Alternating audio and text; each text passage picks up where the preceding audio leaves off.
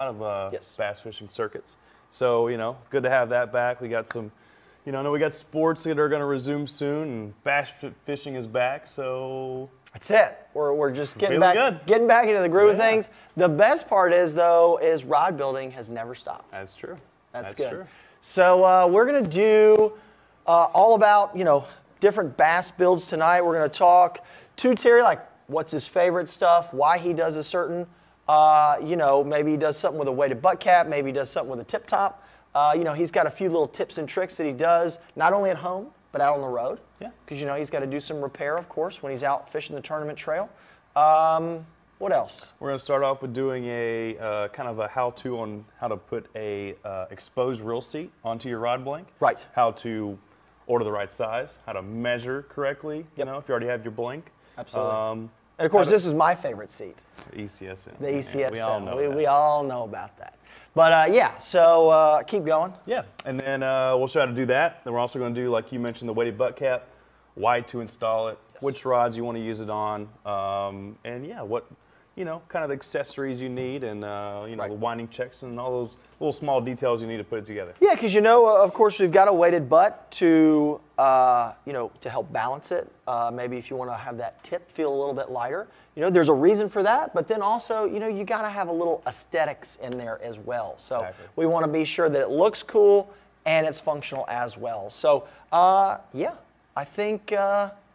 I think we'll do that. I'm also going to show one other little trick too. If you don't want to use the CRB weighted cap, I'm going to show you how to sneak a weight inside of there while still using, you know, maybe your MHX Winn grips. So we're going to be doing that, and of course, we're going to be doing some giveaways. Absolutely. We got giveaways, and of course, Terry's on the show later, so Yep. got a nice Q and A with him. Absolutely. So get your questions ready for, you know, uh, asking what his favorite bass rod is, Yep. or you know, where he likes to questions like fish, that. talk about cooking, get him on the green egg. Uh, so yeah, I think we got everybody ready. Is everybody ready to go? We've got uh, Taylor and Guffey and the guys in the war room, of course. Uh, Nick and Jay here with us. Guys, are we ready? You ready to run this? Let's hit it. There is nothing wrong with your television set. Do not attempt to adjust the picture. We are controlling transmission.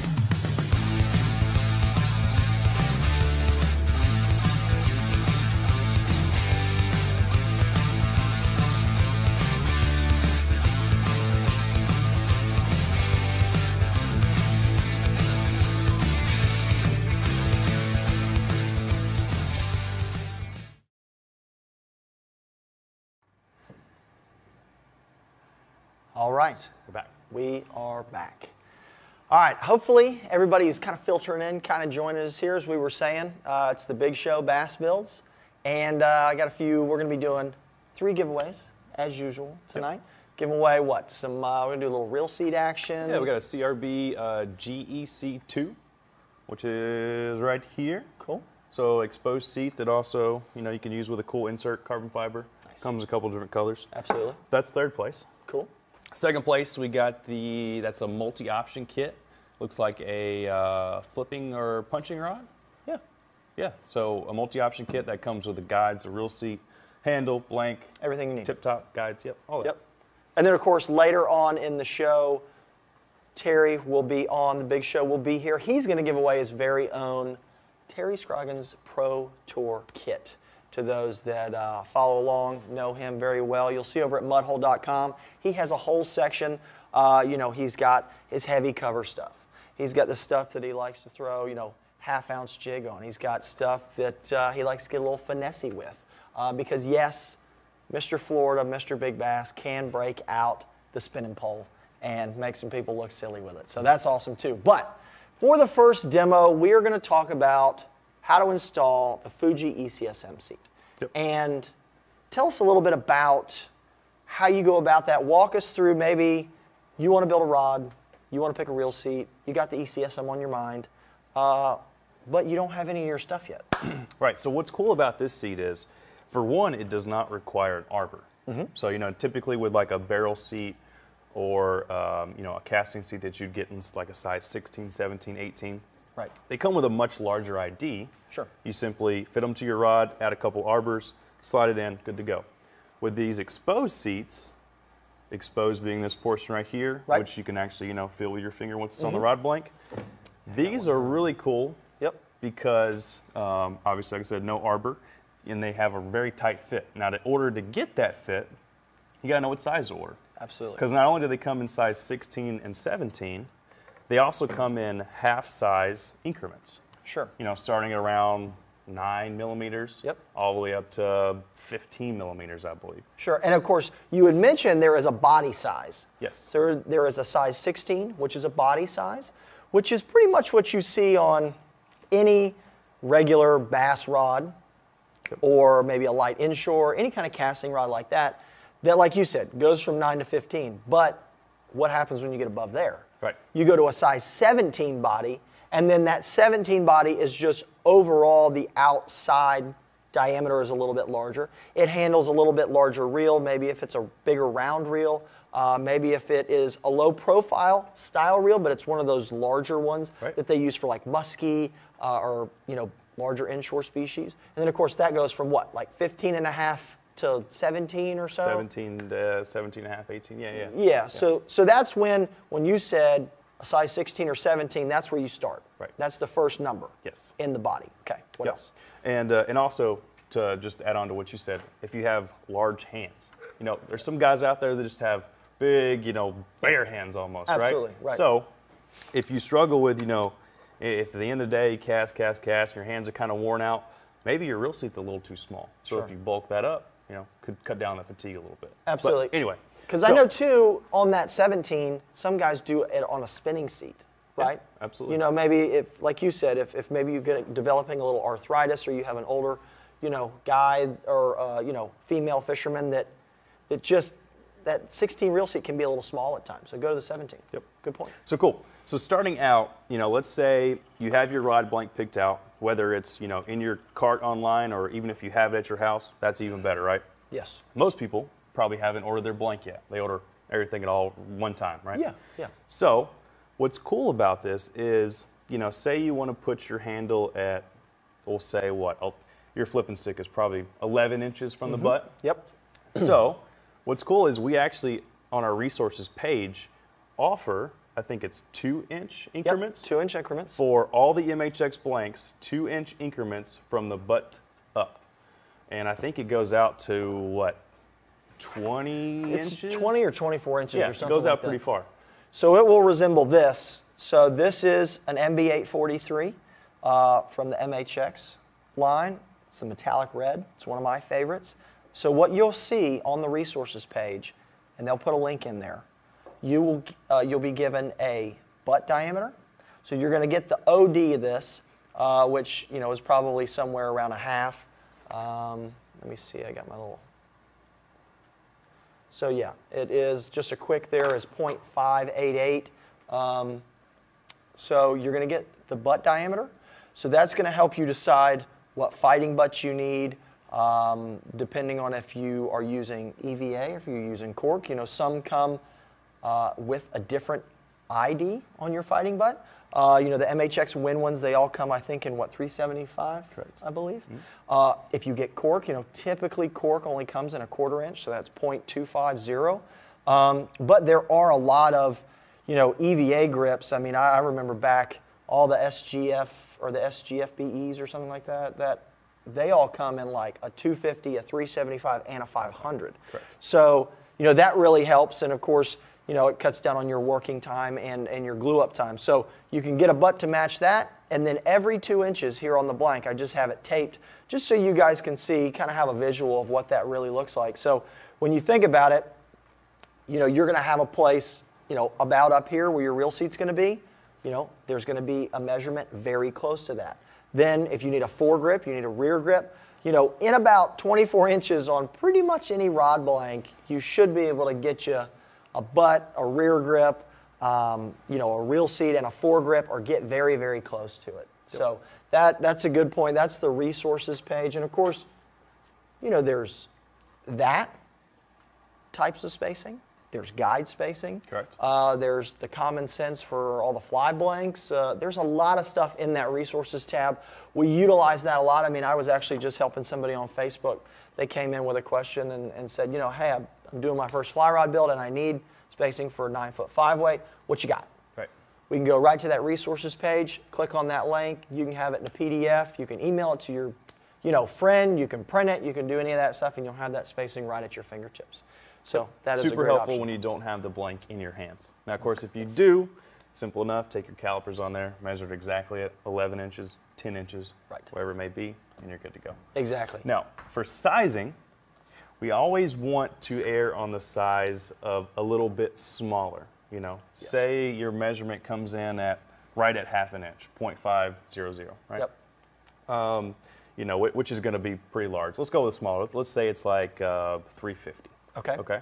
So what we would do is, you know, you don't want to get a reel seat that's going to be close or even over that 350 mark, Right. right? You want to go a little bit smaller. Sure. Because what we're going to show in a minute is you can also you can ream these reel seats out. Yep. They're made of like a graphite style material, Yep. which you can use your your extreme reamers, which you know, chucking a drill real quick, done.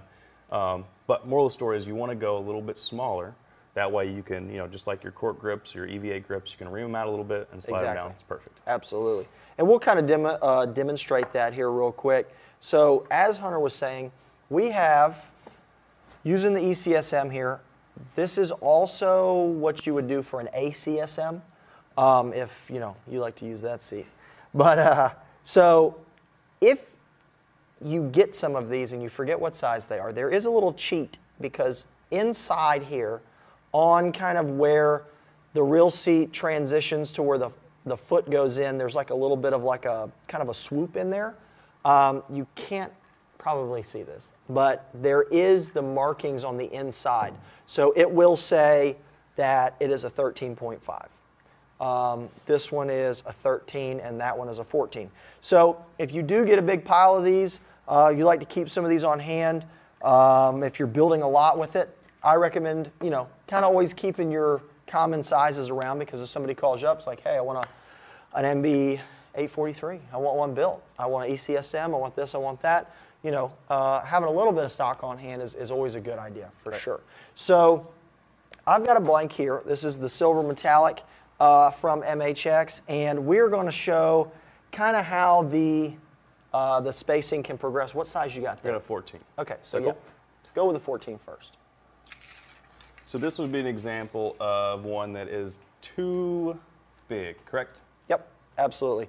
So, you know, keep in mind if you were up here, which is where you wanted your reel seat, and it was maybe 14 or it was, you know, 14 and a quarter, you know, and, and then you buy, well, no, that would be, if it was 13 and a half up here mm-hmm. and you bought a 14. So if it was 13 and a half up here, because we said you always want to err on the side of smaller. So if it was 13 and a half here and you bought a 14, this is probably what's going to happen. There's not really much of a fix for going larger because what will happen is, and this is going to be, you know, an example that is kind of an excessive example, but you can see there's a rattle in here and you can see that there's gaps. There's gaps all around this reel seat that you'll catch your hand on or you catch your finger on and it's it's annoying. Plus it's going to leave this reel seat loose and it's not really a reel seat that's really designed to have an arbor even though you technically could um, but it's just really not going to fit it properly right so let's get try let's do the 13 13. There go. so now if we've got a 13 we're going to put it on, you can see where we're stopping now. Now the best part about this is if it does stop up here where there's still a little bit of taper in the blank, there's very, very little wiggle. There is some, but there is very little wiggle up in the front of this reel seat. So how to combat that is, and especially if you order just a smidge smaller, you don't technically have to order, you know, a full half size smaller, but what can happen is, you know, you're in between those like, you know, 0.2 or 0.3 of a millimeter. You know, always order one down because we'll show you here you can take and ream this out. So, you know, you see that's got a little bit of a wiggle to it, but the 13 and a half, we know Fumble. Yeah, exactly. We know the 13 and a half is really pretty much perfect, and it's snug there. It doesn't want to move, and that's pretty much right where we want to be. Now I'm going to mark this just for just for fun's sake, and of course I have. Uh, I brought the, the white one and the black one here for the silver metallic.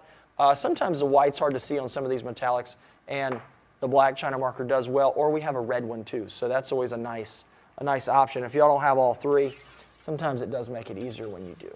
So, all right, there's the 13 and a half. You had a 13 here. I'm gonna get the drill out. Okay. I'm gonna touch one of these guys up here a little bit. Is this the 13 and a half? All right.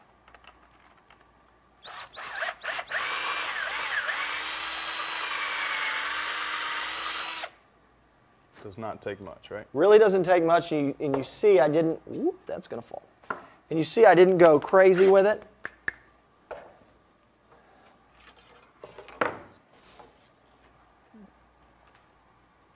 Probably could go a little more because we're about halfway in, in between there. So almost all of the wiggle is out of that seat, but we can probably go a little more because there's the back mark. The front mark is about here. So we could That's go a good little bit. example though, because it's you know it's kind of like your cork grips or your other grips too. You, you never want to really go over it. You want to go a little at a time. Right. You know, and make sure you don't. Yeah, the last thing you want to do is turn your, if 13 and a half is perfect, last thing you want to do is turn a 13 into a 14, and then now you're back. And of course, you can always go this way a little bit. Go from that side.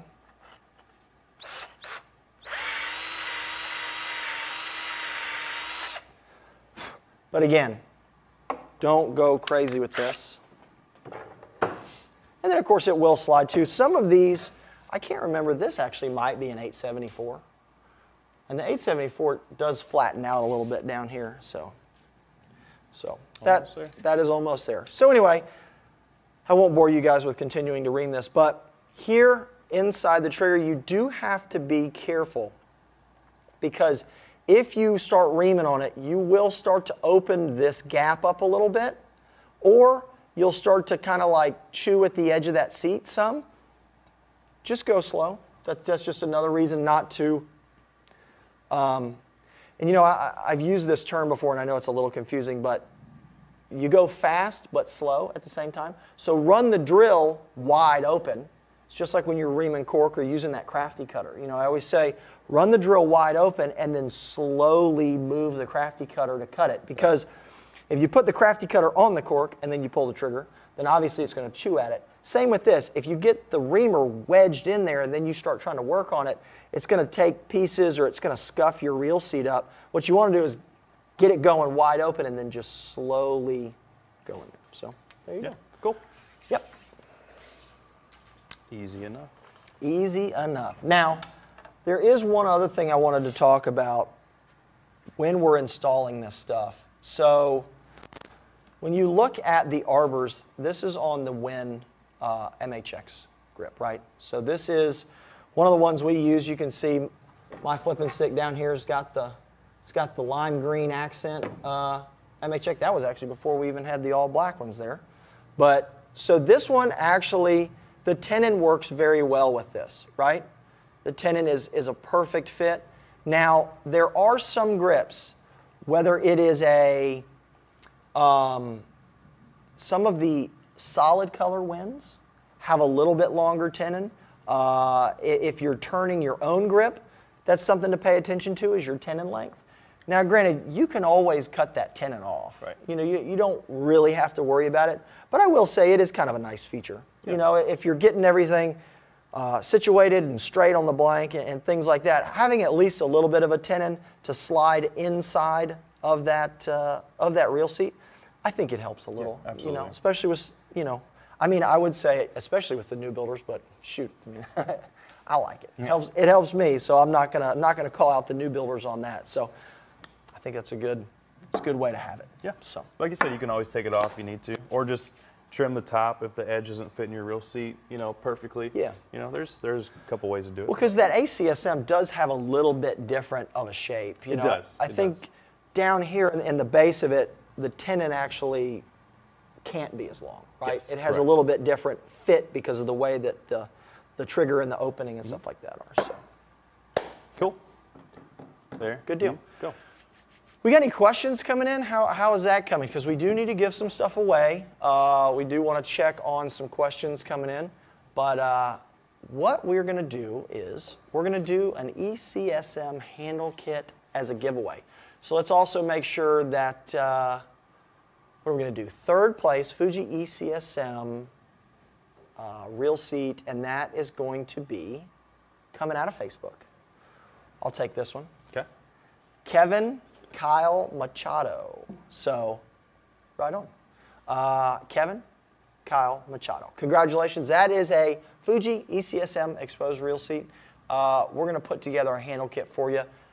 As always, with the, the people that win this stuff, if you don't have Facebook, you can send us an email uh, at support at mudhole.com, I think is what we're using most of the time. Send it in, say you won, let's say through YouTube, right? Or if you have a Facebook account, run over to Facebook, come to the Mudhole Facebook page, send us, slide in our DMs, send us a message and say, hey, I'm Kevin.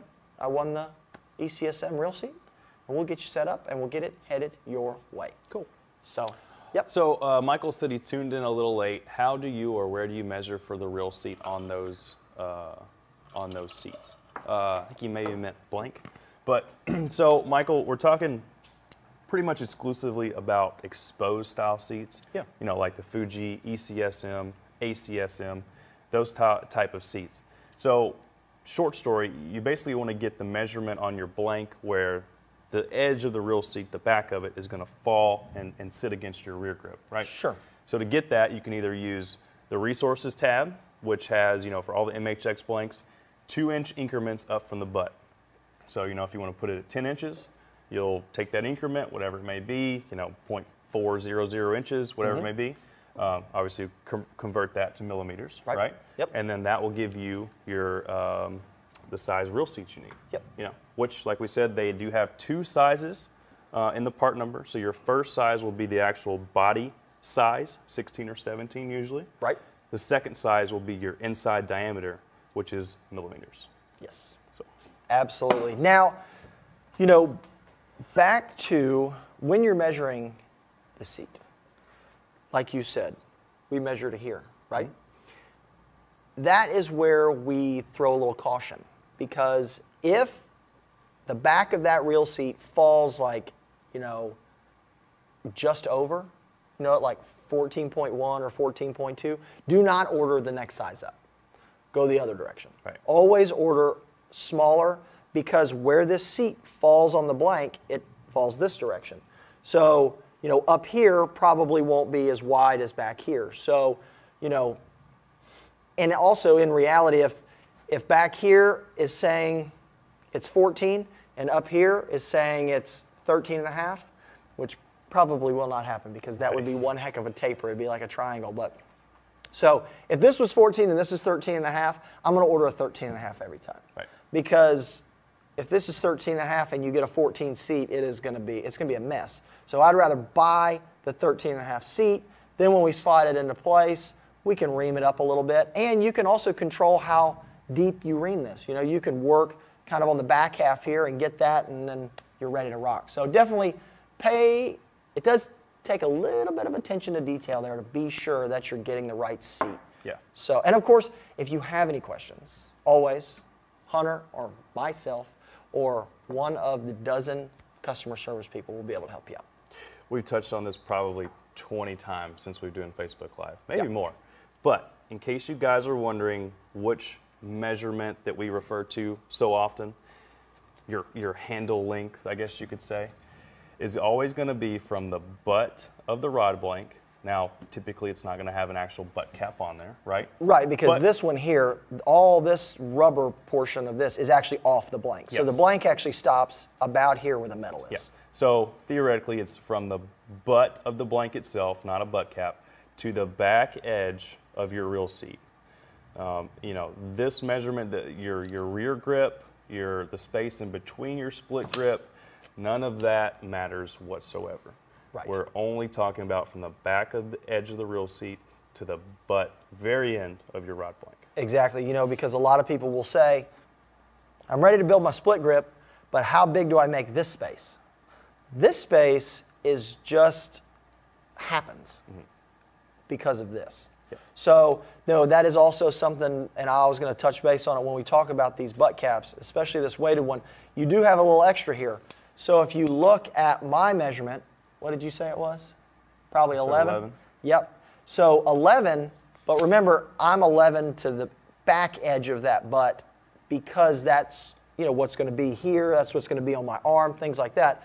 But if you're measuring and you're on the rod blank, you're probably going to be at 10 and a half because the rod blank, you know, doesn't make its way all the way to the to the bottom. Whereas this one is a little bit different. You just barely have maybe a quarter of an inch, you know, of kind of curvature there that that goes from the rod blank out. So there's a lot less room for error with Right. that one uh, as opposed to that CRB weighted butt cap there that they'll be sure to uh, put a link into there because I think we've got four or five colors of that, maybe more. I think it might maybe five or six, maybe. Yeah, for Sure. yeah. Uh, Mark asks, when are y'all going to stock back up in MHX rods?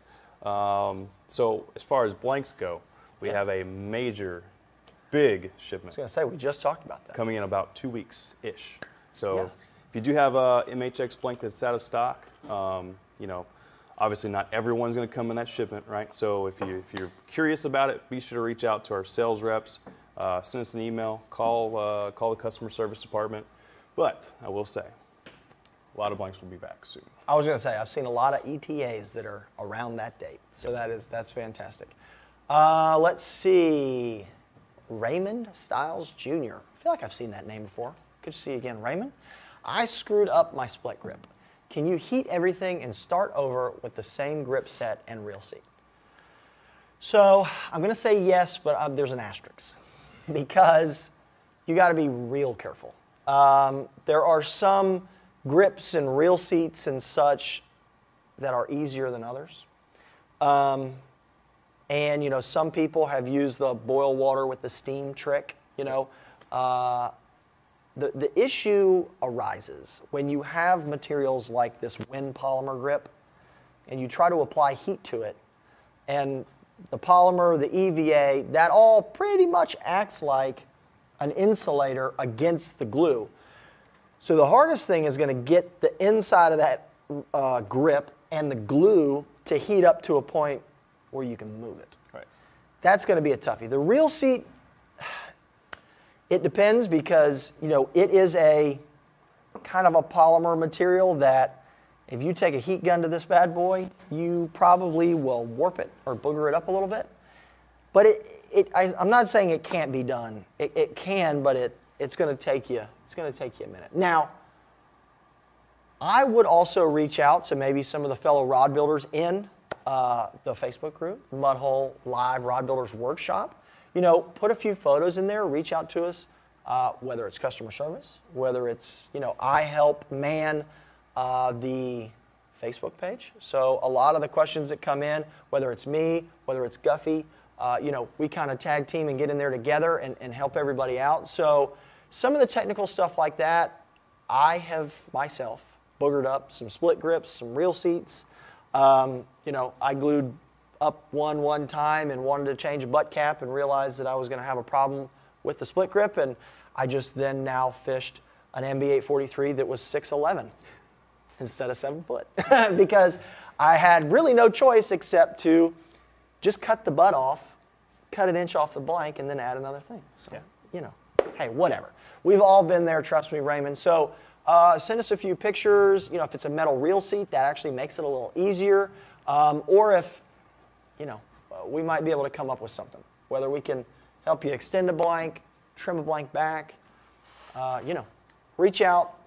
And especially, I looked today, that Mudhole Live uh, Rod Builders Workshop page, I think now has over 8,000 Wow. which that's huge for for a community. And I mean that it's constant activity, constant activity. So and we really appreciate that for everybody that if you're watching this show and you are not a member, I'm not gonna say you're missing out, but you're missing out. Yeah. So All right, I'll do this question and we'll move on to Yep. weighted butt caps. Uh, William, what kind of reel seats do you want to use for large striper fishing on a medium heavy rod? All right, William, so assuming you're probably going to be using a pretty decent sized reel, um, what do you say?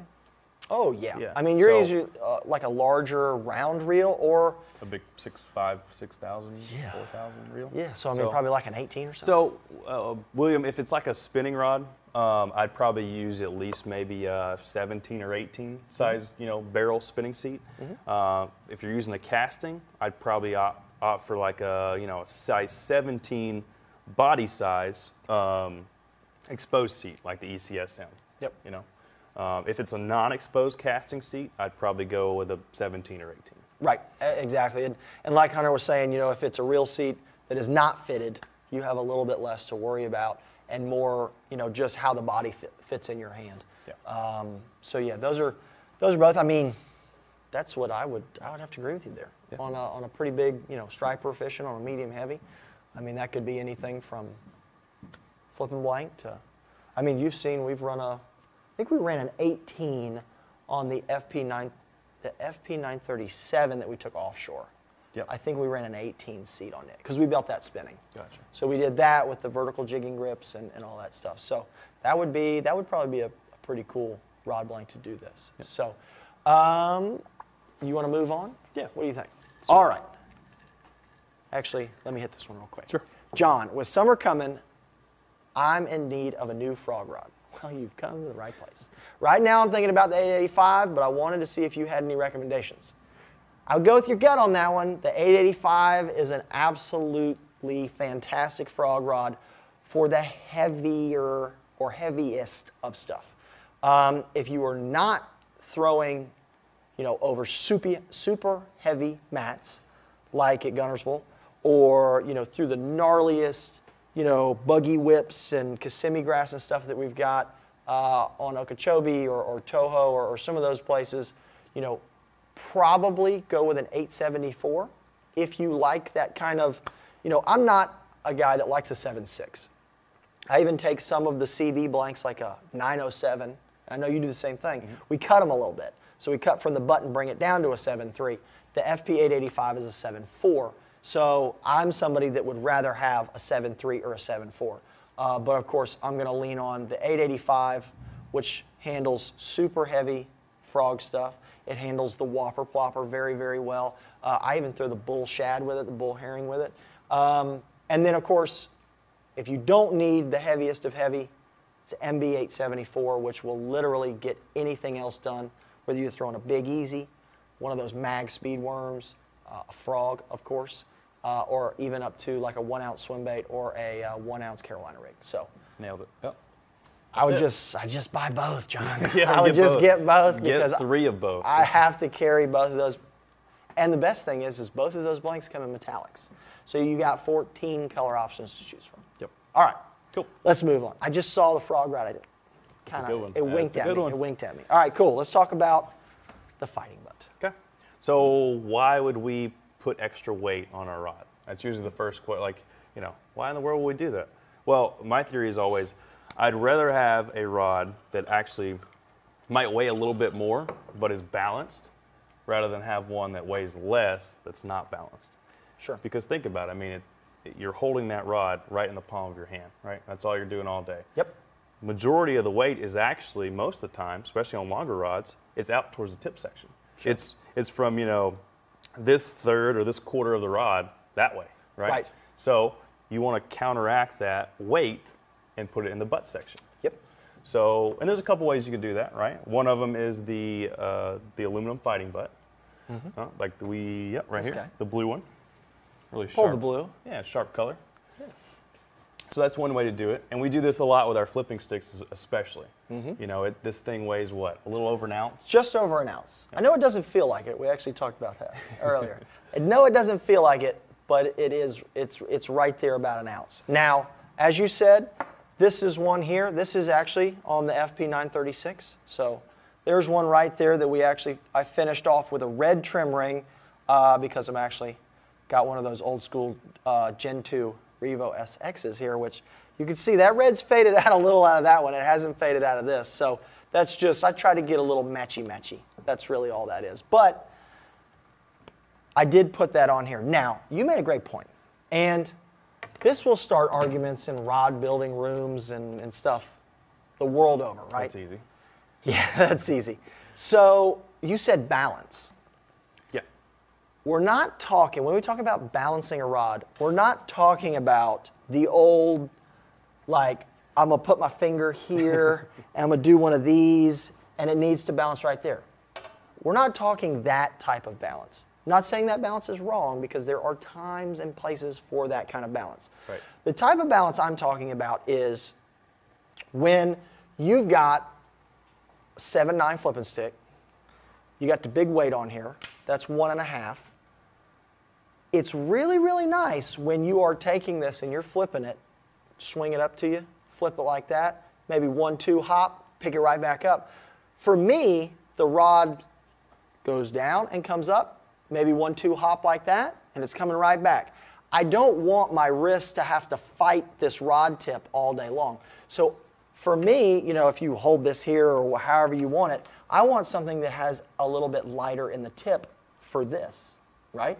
Whereas maybe if you are a cranking guy mm-hmm. and you're throwing, you know, one of them big 10XDs and you're just, you know, out on a ledge all day long and you're reeling it down here like this, I, you probably don't want a weighted butt in there. You know, you want, you know, heavier out near the tip because that's where the rod's going to live. There's no reason to fight where that rod's going to live all day Right. long, um, especially in a drop shot rod. You know, if you're casting it out and you're like this all day, if that's how you fish a drop shot, then why would you want it to balance perfectly level if you're going to hold the rod like this all day long?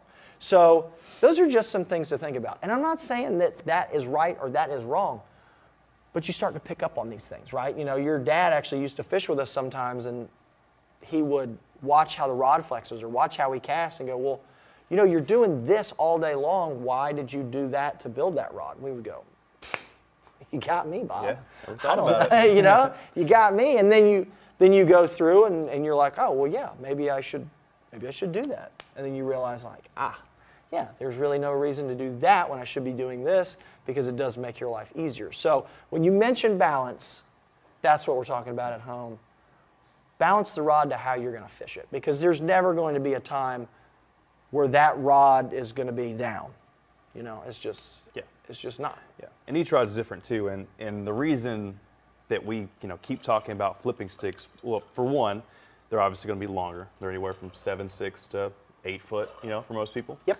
Um, number two, we use micro guides almost exclusively on these, you know, and even though we are using 12, 13 guides, you know, they're super super tiny. They weigh nothing. Absolutely. So that's you, you know you're it's even becoming you know almost more tip heavy. I mean, and like I said, I know we're using really tiny guides, but you know that it does add up a little bit at a time, Yeah. right? Well, it's just a But- lot of blank. and and the blank itself, and you're using you know it's a 936, 937. It's it's a big diameter. It's it's a lot of weight. So Yeah. And you know even though we are using an ounce, sometimes that's not even quite enough to really balance it out. For sure. Yeah, I mean, if, you know, someone, uh, Ronald asked a question there, what blank would you recommend for punching mats? And, you know, there's a, we have seen a lot of different mats. You know, if you, if you travel around, it's, you know, there's a mat that you can punch with a one ounce, and there's a mat that you can barely get through with like a BB cricket and a two ounce. So, you know, that's why we have an 885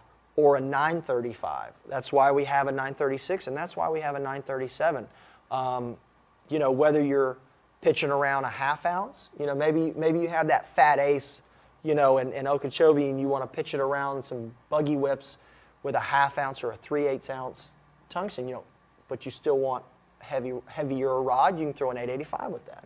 You know, so you can throw almost up to a one ounce on that 885, flipping it. Like I will flip like a medlock jig on that 885 um, because I can be more accurate because it's 7.4. Then when I go to just either you know punching or, or doing some stuff like that, I go to the 936 with it being 7.9, and I typically fish a one ounce to a one and a half. That's just a range, right? And then if I have to go above that, I go to the 937. Uh, but the 937 is a little more rangy. You know, I can we can flip just a one ounce on a 937. Uh, sometimes that's what you have. You know, sometimes you need one bait on one and one on the other with the same weight, and that's that's just what you have. But you know, if somebody said, "Well, all I'm going to do all day long is flip a two ounce weight," eh, then you got to go with a 937. I just think that's a little bit. That's just better for that. So, Ronald, that's what you got to decide, bud. You just got to figure out. You know, when you're fig- figuring out what you want to, what match you want to punch, just go to your tungsten box. Tell me what you flip the most. That's going to help direct you into that blank. So, cool. All right. So let's talk about these aluminum fighting butts before we get out of hand here. All right, so you can see, like I said, CRB aluminum fighting butt. We've got the AAWC, right? That's what this is. A lot of colors, a lot of sizes. We've got them like red, purple, silver, black, and then we also have matte finish ones. Mm-hmm. We have matte black, matte silver, like matte gunmetal. Gun- Gunsmoke, gunmetal, yeah. Yeah.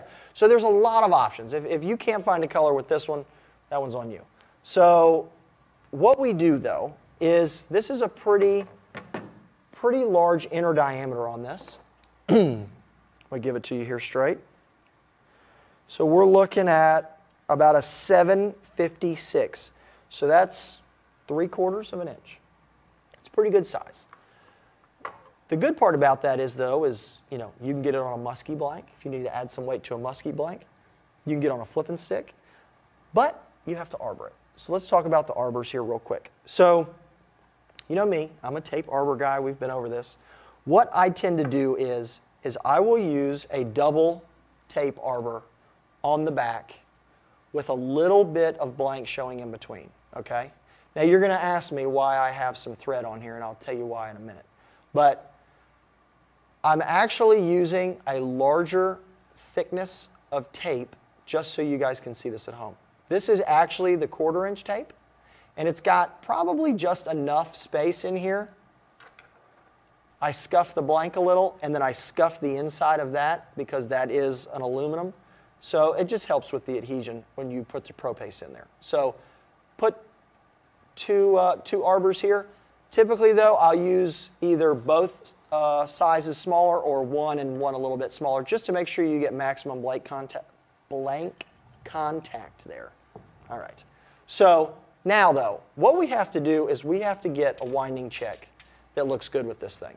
Now, this AAWC was not designed for this butt.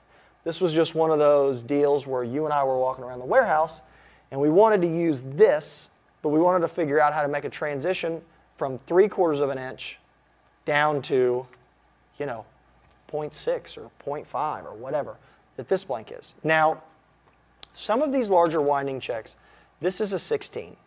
So what you will find sometimes is, I think I got a 15 here somewhere. I think this one's a 15. So what you'll find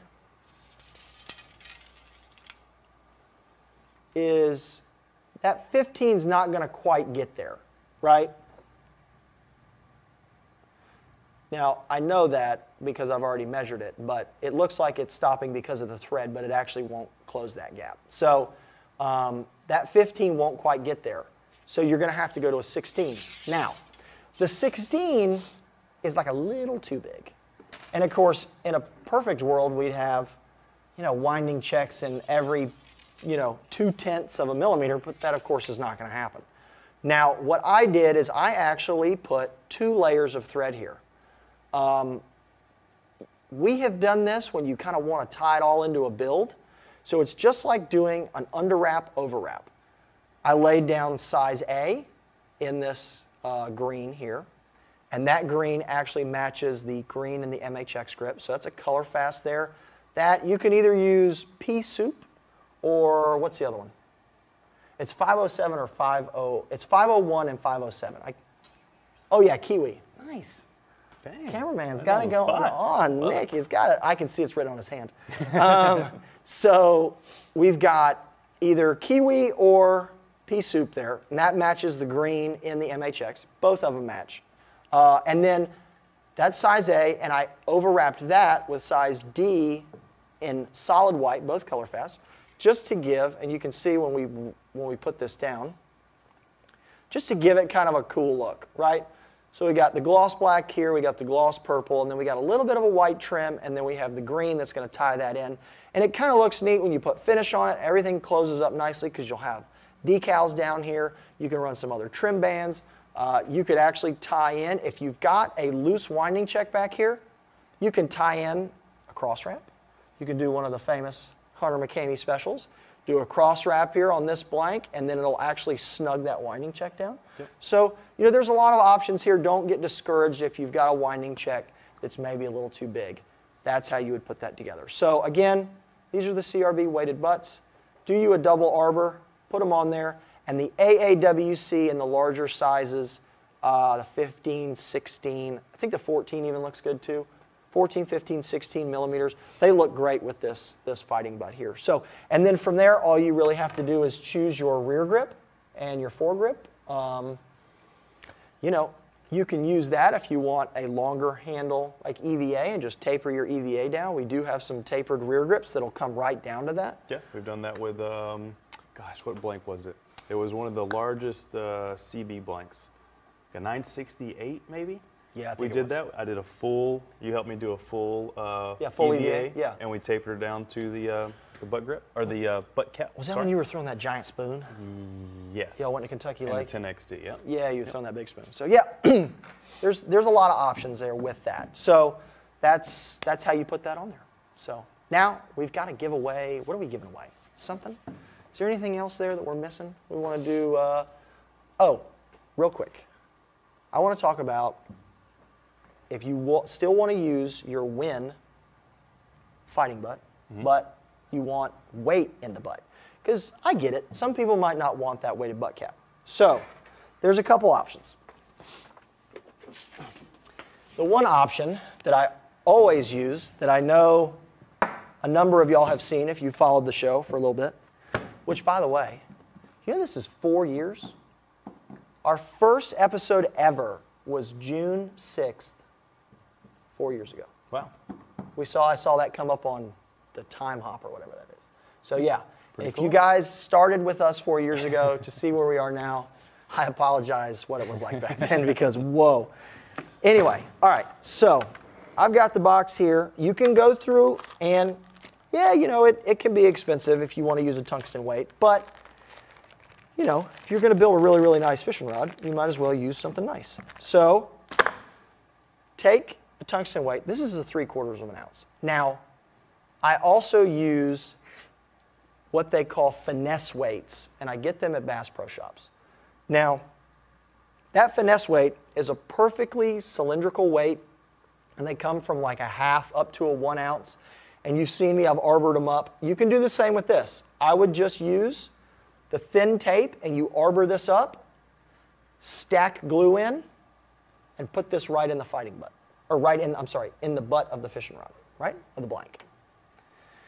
So you would arbor it up, and you'd put it right in the blank. Now you can see that's a three quarters of an ounce. That would go in there, and you know, it'll slide up here, and you don't want that to have happen. So make sure you arbor this to fit snug. Add some pro paste in first, then take this and add it in. Now, what you have to do or your fighting butt will back off is, let me put this up in my little handy dandy deal here. So the good thing about, you know, using something right out of your tackle box is, you know, you probably are like me, I've got something from a 1 16th all the way up to 2 ounces. So, you know, you can kind of pick and do whatever you want. And the best way to do it is actually just tape that weight to the outside of the blank. And then you can try, you know, have your reel seat, have your rear grip. Your fighting butt doesn't need to go on till the end if you want. So just tape those up and uh, tape them up, and you'll be able to kind of get a feel for it. Go out in the yard, pitch the big weight around a little bit, and see which one you like. Now, what you really need to do though is this is our, what's the part number on this guy? I'm putting you on the spot.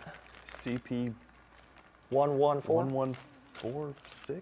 something like that. All right, so this is kind of a, the thread pack kit thing.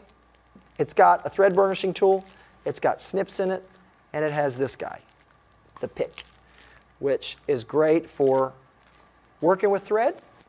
It's also very good if you need to punch a hole in this fighting butt.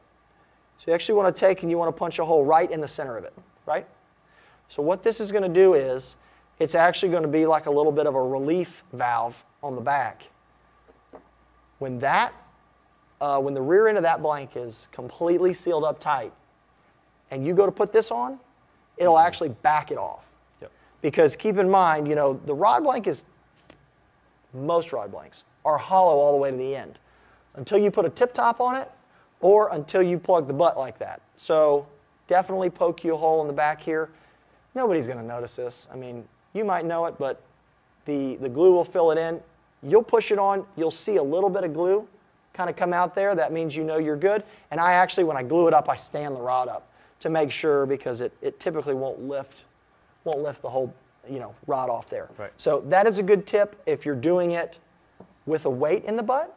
It's also a good tip if you have to come in and re-grip a rod. We've done that before. Right. If you've got your tip top on there and the rod blank is sealed off and you try to put this on, it will. So yep, Cool. that's it. Yeah, that's definitely a good option for uh, people that do not want to use the aluminum fighting butt. Yeah, exactly. And they want to maintain, you know, the Winn grips or cork. Yeah, or, and you can vary, the, you know, the amount of weight you put in there too. You know, you don't have to put that full ounce. You can put a quarter ounce, half ounce. You know, yeah, and you know, especially that that gets involved when you got like a drop shot rod. You know, you got spinning rods that that big one ounce is just no, that's not the deal. Not the deal. Cool. Let's do a giveaway. What do we got here? We have a multi-option. Uh, I think this is a flipping and pitching rod kit. Mm-hmm. Um, Yep. Weighted fighting butt, winding check set. Uh, yeah, so you know that's that's going to be the good thing. We'll, we'll have the fighting butt, the weighted butt if you Cool. want. Uh, so who got? the runner-up prize, a flipping stick multi-option rod kit, is William Kennedy from YouTube. Straight out of YouTube. William Kennedy. I think we answered his question a few minutes ago. Sounds familiar. Perfect. That's awesome. Good deal. Congratulations, William. Good deal. All right, so now what we're gonna do is we did a little did a little chit chat with the big show Yep. uh, the other day. He came in. We tried to get on the water, tried to do a little of that. Uh, if you have been watching the weather for the last, I don't know, month, we got plenty of rain here in Florida, and of course we got interrupted. Um, it's been brutal, but we tried to get out on the water the other day. Uh, it didn't happen, but of course, he's down here fishing the heavy hitters. Came into the shop, had to get some stuff so he could, uh, you know, build a few new rods. We talked about what he built, how he's going to fish it, what he's been up to lately. So uh, let's go see what the big show had to say when he was in the showroom. Hey guys, Chris here in the Mud Hole showroom, and of course, I got special guest with me, Big Show Terry Scroggins. He is passing through because you got a big event coming. Which one are you fishing now? I'm headed to Heavy Hitters down in Kissimmee, but I'm going to tell you what, it's so cool that the store is open back up. You've always been online through the COVID-19. June the 1st, they open the store back up. That's so cool. I can swing by, get what I need, strike on down to Kissimmee. Yeah, absolutely. You know, I know you swing in a couple times during the year, you know, whether you need to pick up something for a repair, whether you need to pick up something to build. Um, you know, so what did you build specific for that heavy hitters event? I've got five or six rods that I, I really, I'm thinking real good about. Yep. And uh, you know, anytime I go to Kissimmee, anytime I go anywhere in Florida, there's grass. The 936 is like my go-to rod. This is an all-purpose flipping rod. If I'm flipping pads, flipping Kissimmee grass, flipping mats, reeds, whatever, this is I'm gonna have this in my hand. Absolutely, you know, because like you said, there is all of that. I mean, you know, you kind of have any vegetation you want at your disposal from hydrilla mats to reeds to, to anything, and, and that FP936 is a favorite of mine oh, as well. It's an awesome rod. Then I got a, a 937, so when I get those super, super heavy mats, you go to the ounce and a half, two ounce, you know, tungsten sinkers. Get the big Get the big, get the big stick out, the 937. So most of the time I got the 936. When I come to that special mat, I always got a 937 laying there just for that. Yeah, that's a that's a great one-two punch for the punching. Yeah, both of those 65 pound braid, lock the drag down, just it's just you and them, you know. But you look at the weather, we got a tropical depression coming in, nothing but rain for the next five or six days. So I got me a frog tied on, you know. Um, I've got this on an 874, which is, I love this rod for just throwing a frog around open water. Now if I get in real thick stuff, I'll go to the 885. Sure. But for just general all-purpose frog fishing, the 874, I, I love this rod for doing that. You know, you get a little bit extra length with that 874, so that's a 7.3. Being a four power is going to be a heavy, and then of course, like you said, when you need to beef it up a little bit, If you're gonna make long casts out through a whole bunch of stuff, you know, 885, it don't get no better than that. Exactly. So I mean, uh, those are excellent for frog. Uh, you know, throwing maybe a big easy, you know, something like that. Any of the heavy cover stuff where you're going to winch a big bass out of that. So now you've got some other stuff here too. Now. Now I- I've, I've gotten a little tricky on you here. This is actually a uh, 843, so it's a seven foot rod, power three. Okay. I took and cut two inches out of the butt end of it, so I made it a 610. Sure. Power three to throw prop, prop baits on it. You know, the shorter rod, you're more accurate.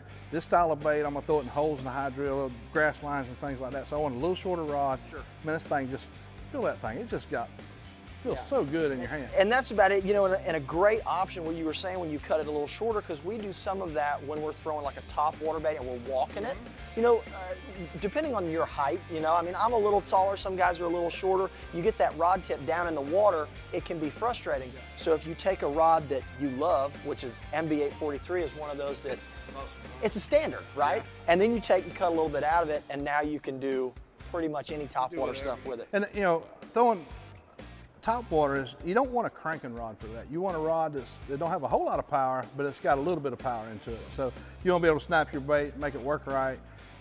And you're fishing around heavy cover, so when a fish does come up and bite it, you don't want a you know a noodle rod. You want to be able to get him away from the stuff. So 843 is perfect for that. And, and you know that that's another great uh, you know tip there for the, the people at home because you know that's why you build what you build.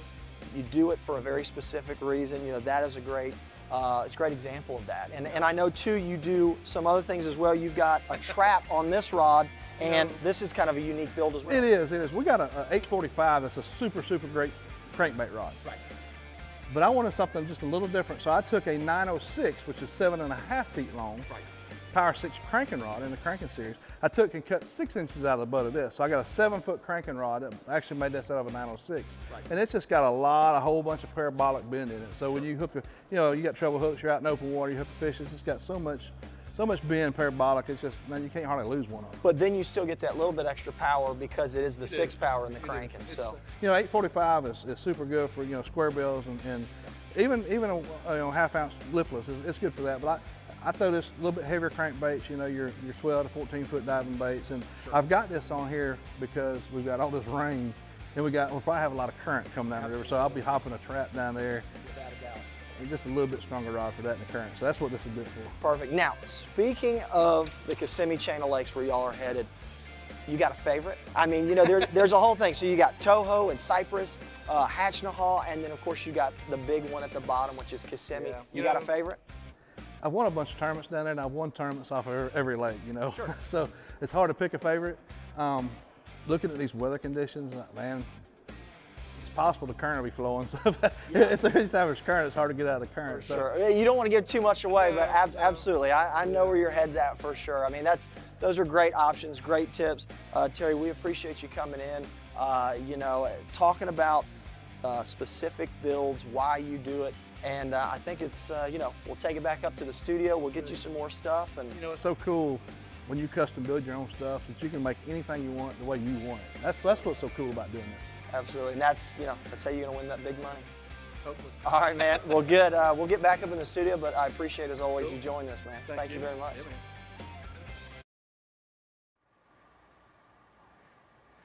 I got to tell you what, that was that was pretty cool. That was neat. That was a big show here. Super cool, yeah. You know, it's it's always nice when you get to pick some of these guys' brain that it's what they do, Yeah. and they've done it for 20 years. A lot I of mean, knowledge for sure. I don't know. I think he's won like over two million dollars or something like that. I mean, I'm talking. That is somebody that you really want to pick their brain, ask them why they fish it, how they fish it, why they, you know, because he's been repairing rods for longer than he's built rods. So, and uh, I don't know. I guess we'll just let him tell you about it. So, all right, everybody, we got him right here. The big Man show, himself. Hey, Terry come on Scroggins. in. What's up, guys? How you He's doing? in here. Hey. How you doing? I'm good, man. I think you you? just you just came for the pizza, right? Yeah, absolutely. Yeah. Good deal. Whoop. Yeah. There we are. So, Terry, tell us tell us a little bit why you're down here. I know we talked about it in the clip. So you're fishing the MLF heavy hitters, right? Yeah, so we got the heavy hitters going on in Kissimmee, Florida this week. Um, it's a pretty neat tournament. So uh, the, the tournament split up in A, B- A group and B group. So you got 40 guys in A group, 40 guys in the B group. Okay. So that makes the first round. The, the top 20 of each group move on to the next round. Mm-hmm. So the first round, big fish is $25,000. Wow. Pretty good purse. If That you make that round, big big fish purse for the second round is $50,000. Gets better. If you make the championship round, $100,000 For the big fish. for the big fish, and then you still got the tournament payout as well. Sure, so sure. Uh, there's a lot of big money up for grabs right there. And um, man, the first day I didn't do so good, so I got I got more work cut out to catch back up. Hey, that's First all of right. all, um, you know Mark Rose, he, he set the bar pretty high. He caught a nine-two yesterday. And I think he caught it on a spinner rod, He didn't he? caught it on a spinner rod, I think. I seen the highlight reels. You're like, yeah. Yeah. on a spinner rod. Like I'm like I'm leaving my spinner rods at home. I'm going big fish fishing, and here he is and catches a nine-two on a spinner rod. So um, yeah, the, the neat thing about Kissimmee is it's full of big fish, and you're just one cast or one flip away from twenty-five thousand dollars tomorrow. So For sure. yeah, just go get it. Absolutely. Now, and of course, we got to be careful. We, we can't really talk about much, uh, you know. So Well, I can tell you something. You just can't tell me anything. Okay, but I don't perfect. want to say nothing because somebody's watching this. One of these other guys. I was going to say, I you know, telling him something. all the, so- all the thousands Yeah, of gotta be a uh, little careful. professional anglers out there that are Yeah, watching this right yeah. now. So, but yeah, exactly. I mean, so we've talked a little bit about, you know, what you like to do, and of course we know what you like to do. But so you know, you've got a number of different options. You've got Toho, you got Hatchineha, you got Cypress, you got Kissimmee. Of course, for those that don't know, um, Toho's at the top. So Yeah, so you got Toho at the top, you got Cypress, you got Hatchet you got Kissimmee. Then you can go through Tiger Creek into Tiger Lake, and then you can go into Rosalie, but you can't right now because the water's too low. Okay. Um, you can go into Tiger because I've been over there. It's kind of kind of tricky getting through there, but you Sure. can make it to Tiger Yeah, it Lake. can get a little I- hairy, I, right? like to look at all of it, you know. So why not? Why I've been not? around down there. Um, now are y'all allowed to lock through to the bar? Yes. Past 60? You can't go past 60. Okay. Um, and, and right now it looks like Toho and, and Cypress is probably the, two lakes to be. But I'm, tomorrow I'm going to run all of it again. I'm just I'm just that way. I mean, why not? You Yeah, know, why you not? fill it full Yeah. of fuel and let it yeah, rip. Let it rip. Yeah, so for those that don't know, with Toho being at the top, there is a lock. So there's, I mean, I know we've probably jammed more boats in there that should have been. I've heard more fiberglass cracking at lock. oh, man, So you man. can get somewhere between like what, 12 or uh, 15 well, boats yeah, in you there? said, well, I think we've had 17 in there before. But, Yeah. you know, the, over the years, the boats have gotten bigger and bigger. Of so course. now about 15 is about where you start cracking glass. So- Sure, sure, exactly. And cowlings and all that. That's stuff. right. So yeah, when you leave tow, you actually have to lock. You lock out, and then the rest of the way down, like you said, Hatchineha, Cypress, and Kissimmee, there's no more locks there. No. So that's that's always an interesting. You know, water starts running and moving. We've had a lot of rain, things like that. So that's always a uh, that's always an interesting thing. So let's jump over here. Joshua Ramey's got a question. What is your favorite blank to use for a half ounce jig? Oh man, um, you know it depends on what I'm doing. I'm gonna have to pick a couple here because A- absolutely. it, it just depends what you're doing. If I'm just out there fishing a you know a ledge with a say a half ounce football head or casting a jig, maybe stroking a jig, Okay. absolutely 874. You know that's that's the go-to. Now if I'm fishing the you know maybe brush piles or or maybe skipping docks and something that I gotta get a fish out of real quick, mm-hmm. 885.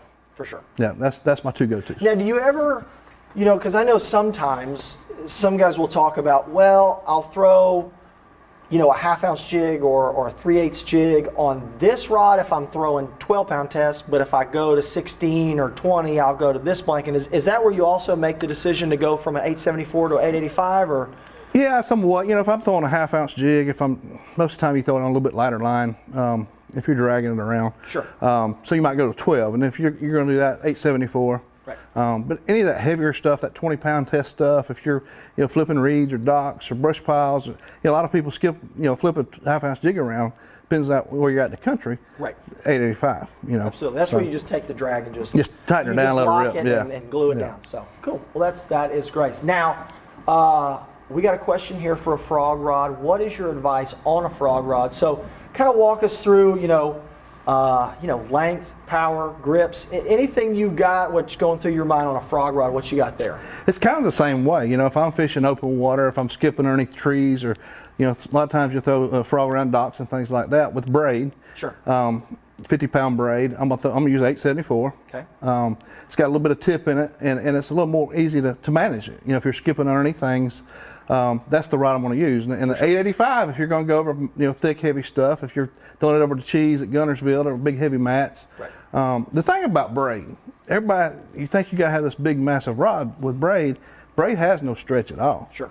So if you aim your rod at him, it don't matter what rod you got. It's still that that, mm-hmm. that line's not getting any stretch in it, so it don't matter. Sure. So if you get in a jam, if you are using an 874 and he's hung up out there in the stuff, you can just aim that rod, and just kind of pull your line back at it and try to get him out, manage him out. But one tip: if you get a fish hung up in cover, no matter if you're flipping or you're frogging, I never pull them out. I always go to them and, and dig them out. So Yeah. you'll lose a lot of fish pulling them out. Exactly. You know, that's a great point. I think, Hunter, you know, we've we've all seen those rod pictures come in where, you know, about 30 inches up a rod blank on a, on a bigger rod, like an 874 or something, and it's just, it's blown up right there. And you're Right. like, well, well, what happened?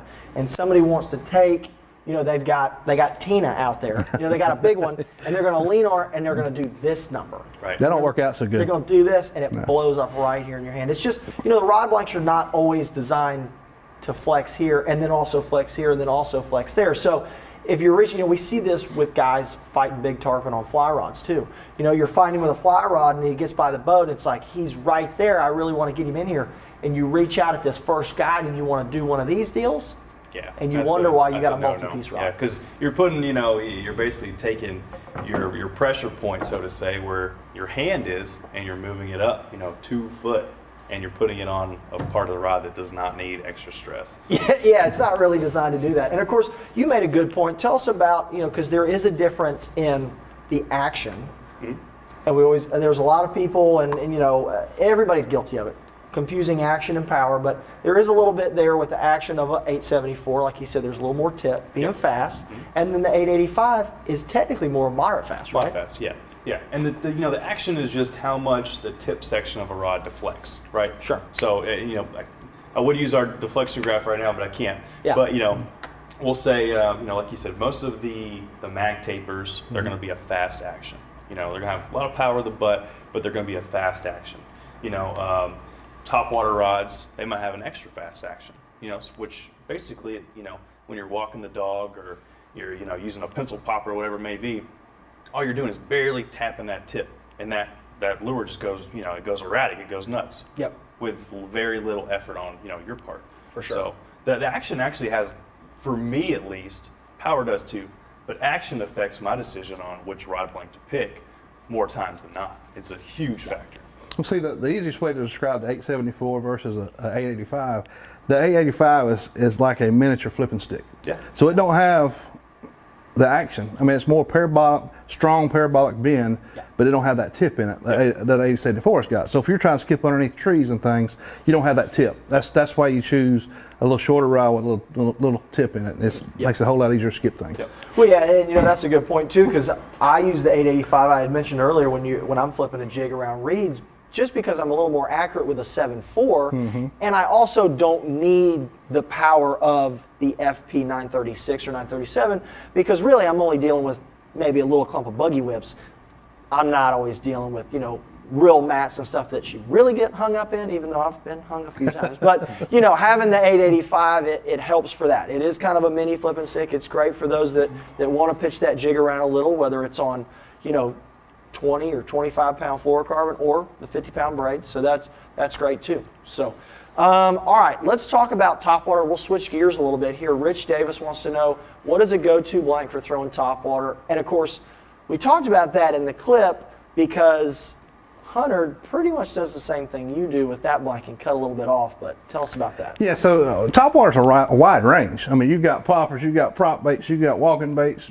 Depends what top water bait you're talking about. So, um, you know, for a prop bait, I, I actually even forgot the number I had the other day um, because it was a rod that I just took and cut the, the butt end off of. I said, this is going to be great for top water. Sure, You know, I just sure. had an extra one sitting in the corner, that's what I did. I believe it was an 873. Okay. Uh, so I made it, which is, um, what is that, 7.3? Yep. So I made it 610. That wasn't. It's actually a seven foot rod I made. Yeah, it uh, was an NBA 43. It was 843 that I made Yeah, a 610 'cause that's out what of. you've done. So uh, the reason I did that, I cut two inches off the butt end to make it a little shorter, um, to throw a, a, a prop bait um, to make it more accurate. Throw, throwing it in holes of hydrilla and, and Yeah. target, you know, target casting. Uh, it worked great for a popper. It worked great for a prop bait. Now, if I'm going to throw, say, a, a spook or something big, I'm going to put 50 pound braid on, make longer casts, cover more water. I'm gonna, I'm going to go to a 7.3 action rod, maybe a power three the same way with braided line. Right. Um, it probably cut the butt end out of it just a little bit because when you're when you're working it, you don't want it caught up in your jacket, your shirt. Right. Um, I've been eating too many ribs. So skinny guy like you probably don't have that problem. Yeah, right. I got to wear So- two sweatshirts so to keep me warm, so I start to get all that. So I'm gonna cut a little bit out of the butt end of that as well. But um, yeah. depending on what top water you're throwing, uh, there's there's you know two rods will probably get you done. Um, I'm gonna go with a 610 and, and a, s- never hardly ever go over seven foot. Yeah, yeah, and, and that that's a great point. I mean, that you know, you did that a, a long time ago, throwing the pony, and Yep. you know, a lot of the guys were like, well, you know, and, and you also sometimes have to tailor it a little bit to what boat you're fishing out of. you Mm-hmm. That's know? what's so cool about building your own stuff. Yeah. Man, you build it the way you want it. Yeah. When you go buy it, you got to settle what they got. Yeah, It's just like, like, well, that's what they got. Let's have to deal with it. yeah. You make your own. You just make it the way you want it. A- It's cool. Absolutely. Yeah. So you know that, and that's great because you know I, you know whether the boat you fish out of or the boat I fish out of or whatever. Sometimes you got different heights out of the water. If somebody's five nine, if somebody's six two or whatever, that that's really what'll get it dialed in. And and you know whether you're doing a flipping stick or you're doing a top water bait, that's that is the deal. Um, let's do. Let's do. I got one right here. Go ahead. Let's do. Uh, let's do Tate. Tate asked uh, Terry the best blank for deep diving crankbaits. And I know that's kind of a, that's also That's- a little bit of a broad, you know, but uh, No, that's pretty. That's maybe give us that's really couple. easy. That's really easy. So, um, if you're talking big, deep diving crankbaits, uh, man, that 906 is pretty awesome. It's uh, it was seven six. Anytime you're trying, this fishing's a lot like golfing. If you're trying to drive the ball a long ways, you get a long driver right. If you're trying to be accurate you know, around the green, you got a pitch a wedge, just shorter shot. So the same with fishing rods. If you're wanting to create distance, you get a long rod. So that 906, um, 7.6, Yep. power six cranking rod, it will launch that thing. I mean, it, it'll just go out of sight. So um, if I'm if I'm deep cranking and I want to create distance from them big ledges, that's what I got. Cool. Good deal. And that's for crankbaits, what around, you know, 12, 15, 18 foot maybe? Yeah, anything less than that, if you step it back to, um, say a, a, a crankbaits go eight, eight to 14. So Okay. um, say a, a Strike King Series 5, for example, or a half ounce fat free shad or anything like that, here's what I do. I take a 906 and I cut me about six inches out of the butt end of it. So now I got a seven foot rod. Okay. Because I'm not wanting, I'm, I don't have to make super long casts with it, but I'm, I'm trying to be more accurate. If I'm throwing around, you know, pilings or, or whatever, and it's manageable. You know, if you're, you're throwing a, a 14 foot crank or 8 to 14 foot crankbait, you don't need that distance. Right. You know, um, so I, I just take the same rod and I cut it down. It works really, really good. Perfect. Cool. Fantastic. Hunter, grab another one there, bud. So let's do. Uh, oh, this is gonna be a good one. So we're switching gears completely here. So Dan asks, what rod would you use to throw a slightly weighted fluke or a trick worm, uh, working it right under the surface?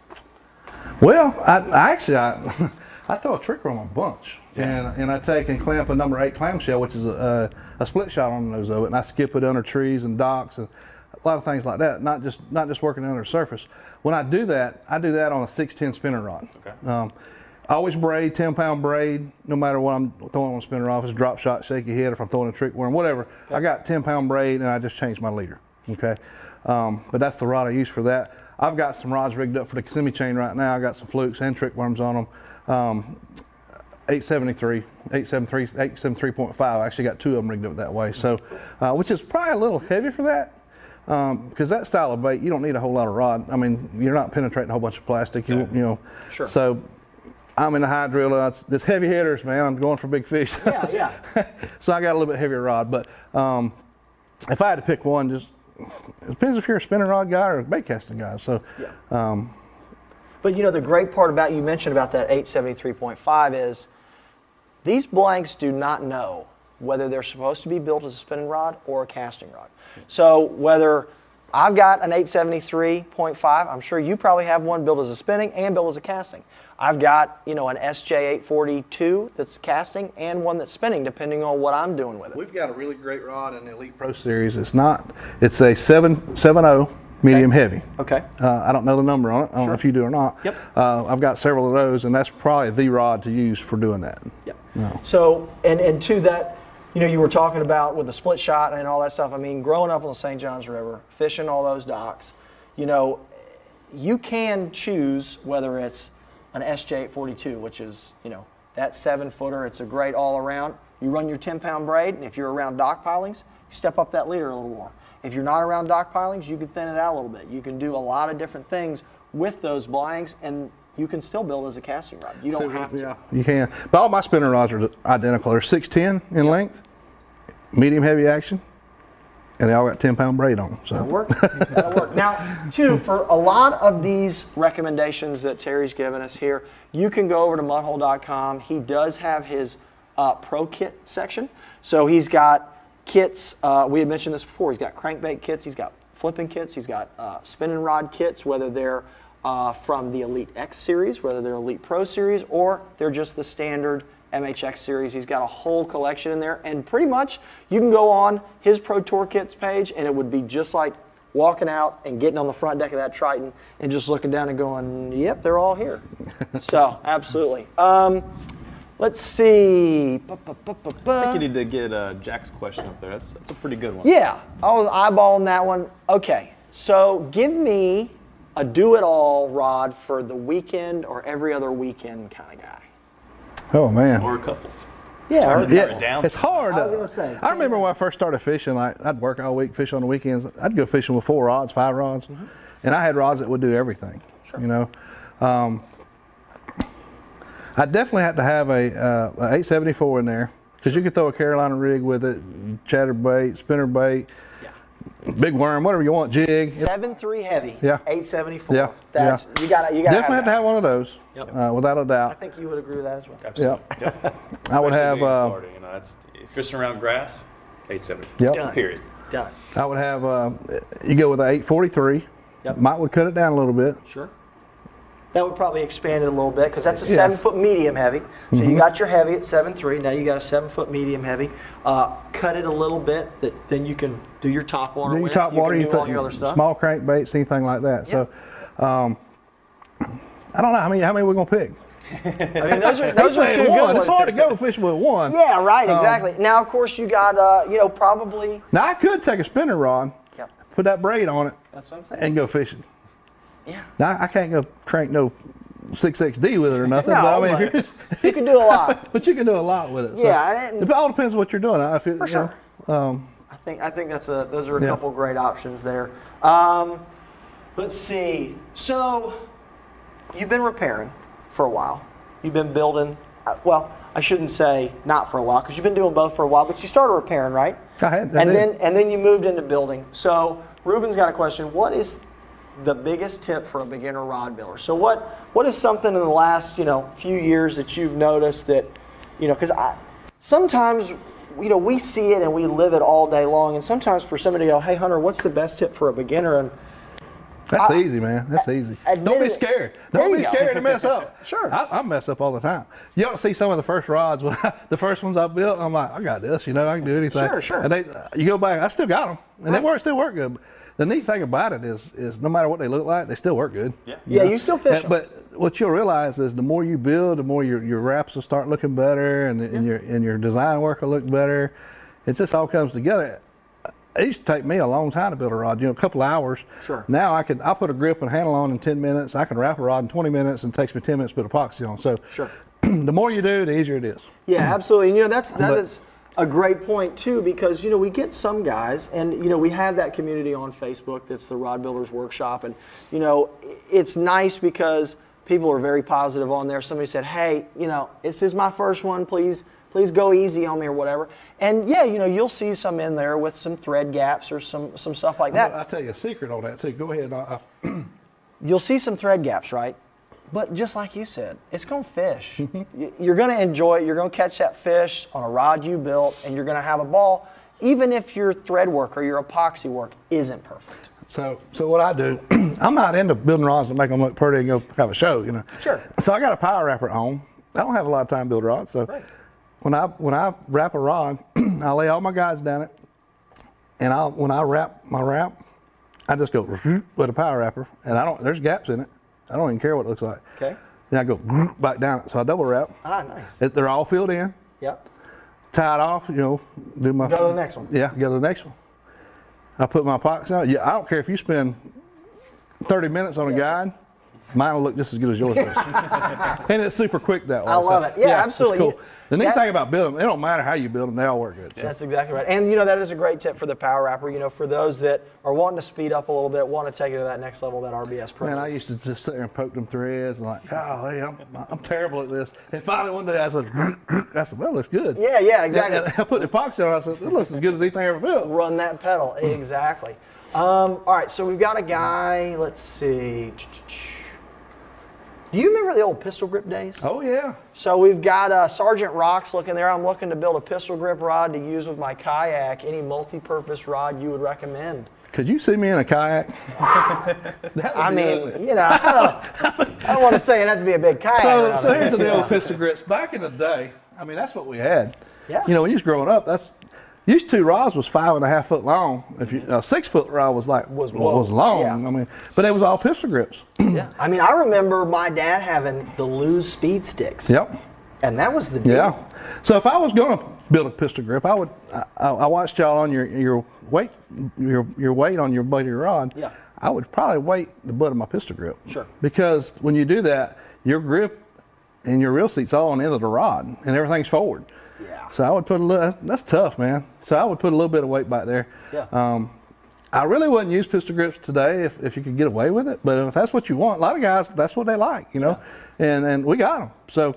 Um, Well, the great thing though too is is not only do we have pistol grip, but we do have some like four inch just straight cork, or we have a four inch straight EVA. So we've got everything from four to eleven, and then you don't have to use a pistol grip. But A lot of guys still like pistol grips, like throwing jerk baits and top waters. Oh, sure. Because you got a handle that's not hitting you back here in your in your forearm. So, Right. but I've got to warn you, if you do that, don't build a real long rod. You're gonna have things be tip heavy. Yeah, yeah, So you sure. you no, no longer than six foot. Right. So Yeah, and we do have some in there, you know, and of course you could get some, uh, whether it's out of the, the color series from CRB, or you can get some of the MHX blanks. You know, they're down in that six six six foot range. Mm-hmm. Uh, we've got EVA and cork pistol grip, Correct. and uh, I think that's a good idea. Put a little put a little weight in there. Yeah, I I'd- think you'll be good to go. counterweight a little bit and, So- and keep it under six foot. I think you'll be Perfect. Well, Terry, I'm not going to keep you all night, bud. Um, we need to give away something. So we've got one of your Pro Tour kits, right? Yep. So that is the big giveaway here. We've got somebody, I think we got him queued up, Jay, don't we, on that screen there? Can you see that bottom name there? Looks like Dylan Hocut, if I'm pronouncing that right. I think that'll work. Dylan, Dylan Hocut from Facebook. There you go. So that is going to be the Terry Scroggins Pro Tour kits. What we'll do is the guys out there in the war room, they will put up a link to your tour kit landing page. So it's got all the options on there. You'll be able to go through there, and uh, Dylan, you'll be able to pick any one you want, and uh, we'll help you out. If you've got any questions, any recommendations, or any questions, and we can give you a recommendation, please slide in our DMs there on Facebook, and we'll help you out. There's some good stuff in there. There's some real good, good stuff stuff, in there. yeah. Real good stuff in there, for sure. So, all right. Well, um, I can hear it pouring out there. I think. It's a little wet. I think. I think. Um, you know, I, I know you're a busy man. You're down here fishing heavy hitters. You joined us the other day. Uh, I I appreciate it. Every time you just come right in, up the road. It's fun coming here. I mean, like, like this place is brand new, and I like every time I come here, I'm like, I see something different. So That's it. If y'all are around this area, man, you got to swing by a Mud Hole and check it out. Yeah, I went- like you said, we just opened up the showroom back up. Uh, you know, come in, take a walk around. It's it's a cool place. You know, I, we'll show you the penthouse. We'll show you the the uh, the war room in there and, and all that stuff. So uh, Terry, though, man, good luck in the heavy hitter thing. Go out there and get you a big check, get you a big one. Got my work cut out for me tomorrow. Ab- Absolutely. hey, like you said, you know, you catch a.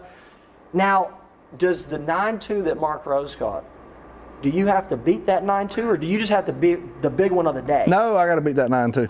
Okay. So I'm fishing for big fish. You know. There you go. But hey, I can. We know that there's plenty of fish out Plenty there. out there. There's a lot of 9'2". big fish in Kissimmee chain. Yep. so Bigger than it's, 9'2". it's, it's not safe for him right now. I was gonna say I, I wouldn't sleep too well tonight, Mr. Rose. Even though you he's a great fisherman, but that nine two, yeah, On a spinner rod. That, that, should, that should add like a pound to it, you know, just because it's a he should. rod. He should get a little Yeah, uh, get a little bonus a little there. extra five grand or something. So awesome. Well, guys, uh, thank y'all very much for joining us here on the show for the Big Show Bass Builds. Uh, be sure to run over to the Mud Hole Live Rod Builders Workshop after the show. We'll get in there. Hunter will be in there. I'll be in there. Uh, we'll be in there answering questions. If we didn't get to you on the show, we will certainly get to you there tomorrow. Put in some links and answer your question. Uh, but again, thank you very much for joining us here in the penthouse. The next show, we do not know the next show because we're going to lean on y'all a little bit. Um, it's a summer season. Y'all are traveling a little bit. You're getting on the water. You're fishing. Uh, do we need to do a show where we show y'all how to repair some stuff? Maybe you've torn up. Do we need to show y'all how to build something that you're going on a summer vacation, or uh, just getting out on your local pond, or, or maybe offshore? I, I might know. need to come back. I can fix some stuff. now. that, that he can. He is Mr. Fix It, Mr. DIY himself. So, um, what you think, Hunter? Is that about it? bud? That's got it. That is it. Congratulations to the winners again. We've got uh, Kevin Kyle Machado with the ECSM. Uh, we've got William Kennedy from YouTube with the flip and stick multi option. And of course, Dylan Hocut with the Pro Tour Kit, Mr. Terry Scroggins Pro Tour Kit, that is. So, guys, congratulations. Thank you again for watching. Uh, from Taylor, Guffey in the war room. We got Nick and Jay on the ones and twos. I'm Chris Adams, and of course, Hunter McCamey, as always. The big show here. Thanks again, man. hey, I see y'all around. We appreciate it. Yep. Yeah, thank See you, y'all sir. next time, guys. Take care.